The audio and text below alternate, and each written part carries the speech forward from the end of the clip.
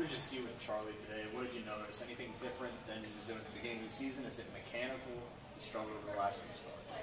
Well, I think if you've, you know, you'll look at the review the body of work from last year to this year. You know, he's pitched a much larger volume of innings at this point in time than he ever has before.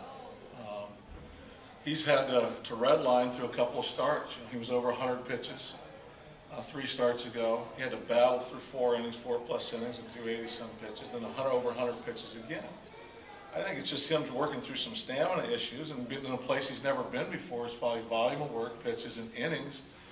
And uh, I think that has caused probably him to, he's elevating the ball more, much more than he was earlier in the season.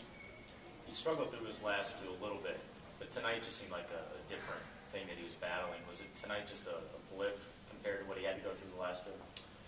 Well, it could be, and you know, in the first inning, three ground balls find holes. I mean, that's the life of a ground ball pitcher. When they're hit at you don't even think twice when those balls are hit at people. That's a ground ball out. That's a ground ball out. And they go through it. That's a hit.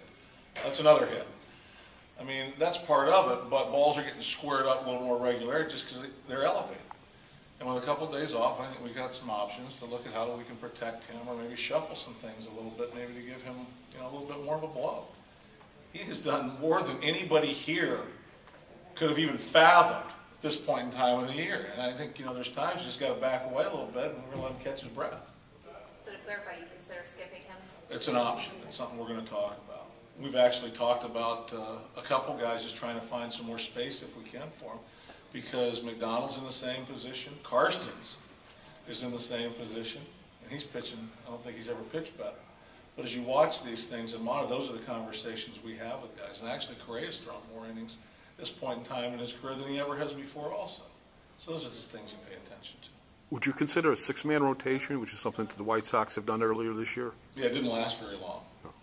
And um, depending on, uh, I think as we move forward a little bit, it's not, it has not been brought up at this point in time, so.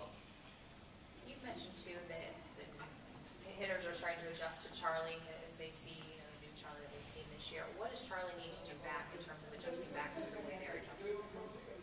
Well, I, I think the, the first one will just, the first thing we can do is, help him, you know, regain some stamina.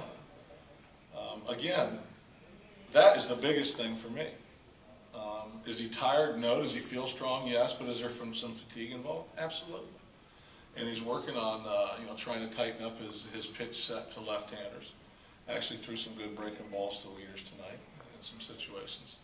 But on some right-handers, you know, sometimes he just gets a little out of, out of sync where that, that arm side run is running off the plate, and we've got to get to the point where he can make maybe a quicker adjustment when that fastball is running so dramatically to his arm side that we can just push it over a little bit, maybe trying to get it back over the plate.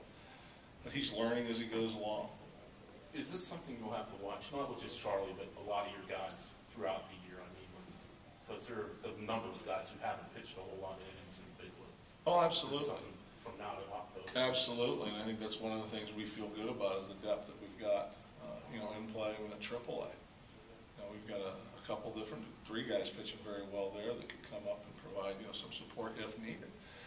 But what you want to do is keep pushing those guys as much as you can without injury, so they build up that stamina, so they become a pitcher that can throw 200 innings, and then go the next season and throw 200 innings. You know, you've got to work to that. That's got to be one of the end results you're working Clint, you said you've been proud of the team on how they've not taken the frustrations from hitting into the field.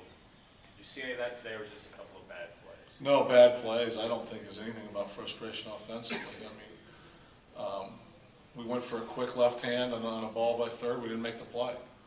Um, we overran a ball in the outfield. He was trying to make a play, thought the guy was going to go. He was trying to throw him out at home.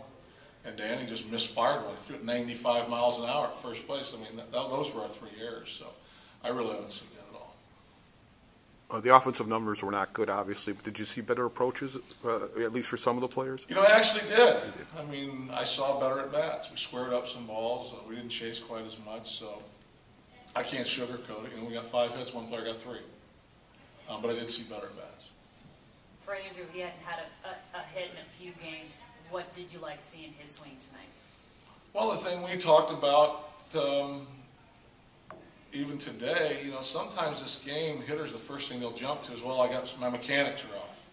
Sometimes it's not your mechanics. Sometimes it's, it's the mental approach, you know, and what you're looking to try and do. And sometimes uh, from an offensive standpoint, we go up with a mindset and try and create something to happen. If we're, we're thinking, okay, I'm gonna take this ball and I'm gonna hammer this ball left field, well, the guy's sinking me down and away three straight pitches.